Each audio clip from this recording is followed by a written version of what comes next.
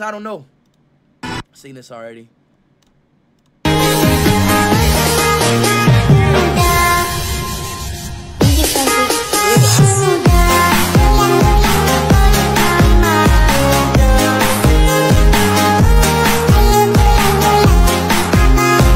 Bro, Neymar does anything and just get edited, bro.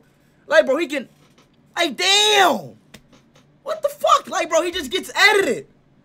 What the? God. He can pee on a tree and just get edited, bro. Too loud.